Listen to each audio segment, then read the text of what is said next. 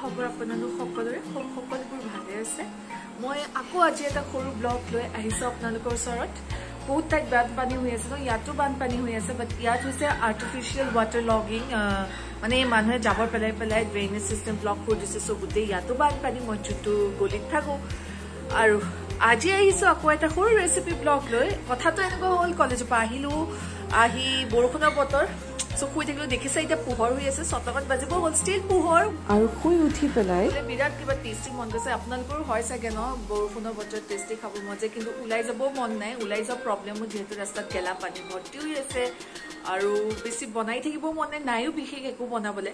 আৰু মই যিহেতু একো খোৱা নাই ৰাতিপুৱাই খালি ব্ৰেকফাষ্ট তাকো মুজলি খাই মিজলি খাই গৈছিলো চ' হেভি একো খোৱা নাছিলো কাৰণে ভোকো লাগি আছে সেইকাৰণে ভাবিলো ৰুটি আৰু ৰুটিৰ লগত খাবৰ কাৰণে কিবা এটা টেষ্টি বনাওঁ আৰু সেইটো আপোনালোকৰ লগত শ্বেয়াৰ কৰোঁ।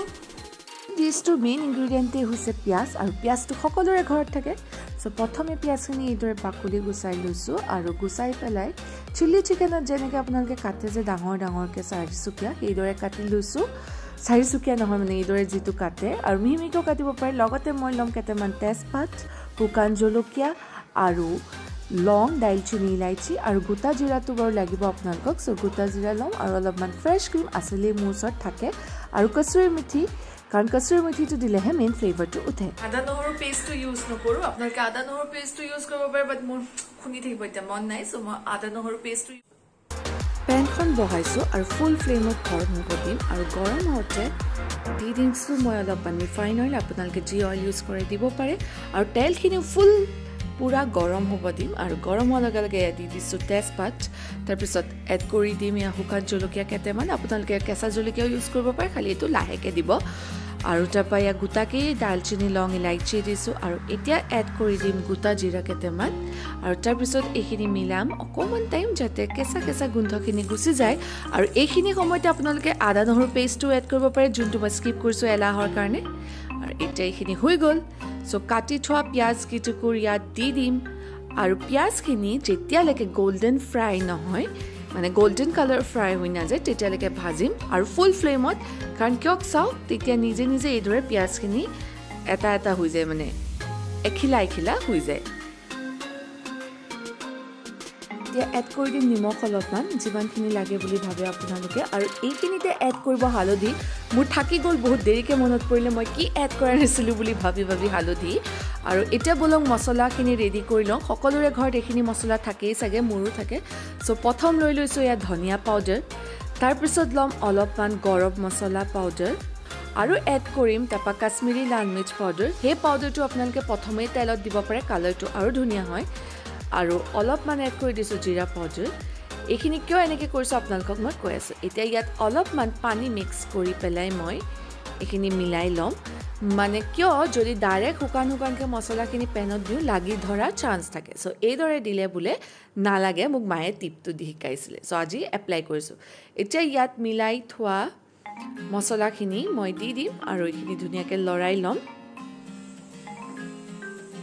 মছলাখিনি ধুনীয়াকৈ ভাজ খালে মানে কেঁচা কেঁচা নিচিনা গোন্ধটো গ'ল এতিয়া এড কৰি দিছোঁ ইয়াত কচুৰি মিঠিখিনি অকণমান ক্ৰাছ কৰি পেলাই কাৰণ সেইটোৱে ধুনীয়া ফ্লেভাৰটো আনে যদি কেতিয়াবা কচুৰি মিঠি থাকে আপোনালোকে ধনিয়াও ইউজ কৰিব পাৰে কিন্তু খালি ধনিয়াটো আকৌ এতিয়া ইউজ নকৰিব নমোৱা সময়ত কৰিব আৰু এইখিনি ধুনীয়াকৈ মিলাই লৈছোঁ চাওক ধুনীয়াই লাগিছে হৈয়ে গ'ল চ' দেখিলে অতি সহজ ইয়াতে ন মই এতিয়া স্কিপ কৰিছোঁ বিলাহী আদা নহৰু আপোনালোকে বিলাহী অকণো দি দিব পাৰে একদম দৌ পিঁয়াজা হৈ যাব এতিয়া দি দিম মেইন ইনগ্ৰিডিয়েণ্ট যোনটো এটাটো দি দিয়ে কচুৰি মিঠি আৰু দ্য মেইন ইনগ্ৰিডিয়েণ্ট ক্ৰীম চ' সেইটো দি দিওঁ মানে মালাই মই ক্ৰীমখিনি দিলোঁ আৰু অলপ টাইমো হ'ল। ভাবিলোঁ ভিডিঅ' কৰি আছিলোঁ বাট ভিডিঅ' নহ'লে। লগতে হালধি যে মই এড কৰিব পাহৰিছোঁ বুলি কৈছিলোঁ এতিয়া হালধিও এড কৰি দিলোঁ।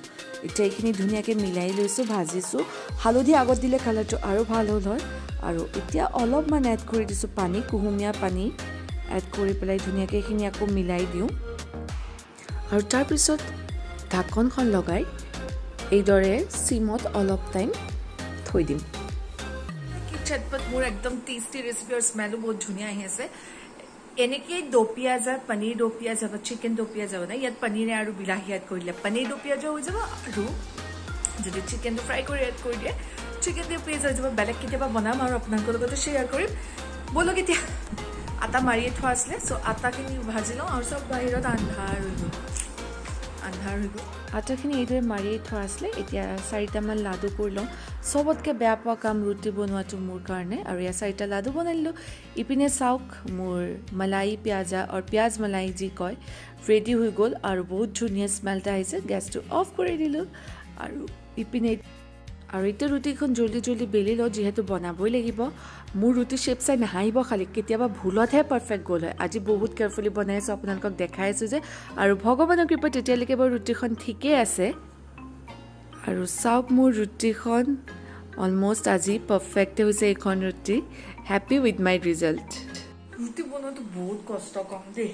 আৰু মই ৰুটিত কেতিয়াও পাৰফেক্ট নাই জানে আটা মাৰিলে সদায় যিমান কোৱান্টিটি মাৰিব যাওঁ তাতকে বেছি হয় পানীৰ কাৰণে। আৰু তাৰপিছত বেলিলে কেতিয়াবা গোল শ্বেপ হয় কেতিয়াবা নহয় কিন্তু খাব চলি যায়। কাৰণ ইয়াত ৰুটি অলৰেডি খোৱা অপশ্যন নাই।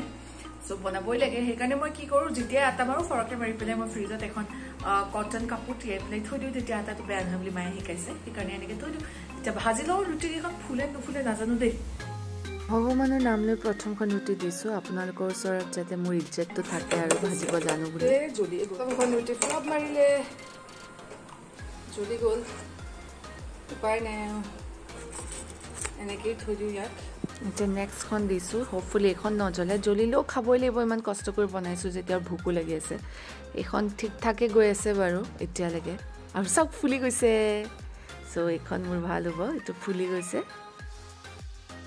চুটি বনাই হৈ গ'ল ঘামি গ'লোঁ।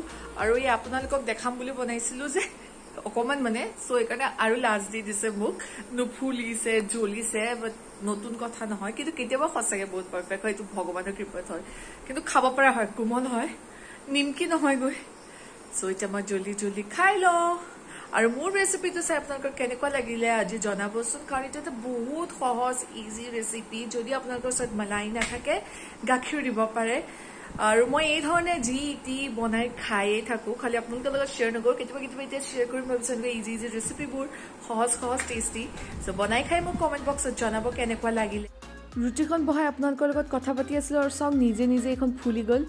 থেংক গড এইখনে মোৰ ইজ্জতটো বচালে যে মোৰ ৰুটি কেতিয়াবা ফুলে। আছিলোঁ ৰুটিখন নুফুলিলে এইখন ৰুটি ফুলি গ'ল নিজে নিজে চ' ফুটি আহিছে। খাই লওঁ জল্দি জল্দি দেখা যাওঁ আপোনালোকক মোৰ ৰুটি। এয়াই মোৰ খানা? মালাই পিঁয়াজৰ ৰুটি আৰু এতিয়া এটা হাতত কেমেৰা লৈ পেলাই এনেকৈ দেখাই আছোঁ তো আপোনালোকক চ' অকণ লৰি চৰি গৈছে। কিন্তু ৰেচিপিটো আপোনালোকে বনাই খাবচোন ঘৰত আলহীকো বনাই খুৱাব পাৰে। দেখিলে এতিয়া মোৰ এয়া মালাই পিঁয়াজ ৰুটি ৰেডি হৈ গ'ল। বা কি কয় আৰু পিঁয়াজ দুপিঁয়াজেও ক'ব পাৰে। চ' এতিয়া মই জল্দি জল্দি খাই লওঁ। বহুত ভোক লাগি আছে। আৰু এইটো ডিনাৰো হৈ গ'ল মোৰ কাৰণে। খাই লওঁ। আৰু আপোনালোককো জনাইছোঁ খাব কেনেকুৱা হৈছে মজা হৈছে। এনেই নকওঁ দেই মই বেয়া হ'লে বেয়া হৈছে বুলি কওঁ। ৰুটিকেইখন ভাল নহ'লে বাট এইটো ভাল হ'ল। চ' এতিয়া জল্দি জল্দি খাওঁ আৰু ব্লগটো আজি ইমানখিনি খতম কৰোঁ। যদি আজি আপোনালোকৰ ব্লগত দিয়া ৰেচিপিটো চাই ভাল লাগিলে ব্লগত দিয়া ৰেচিপিটো চাই ভাল লাগিলে kindly like comment and share কৰি দিব আৰু যদি প্ৰথমবাৰ বাবে চাইছে please please please subscribe to the next blog bye bye good night and take care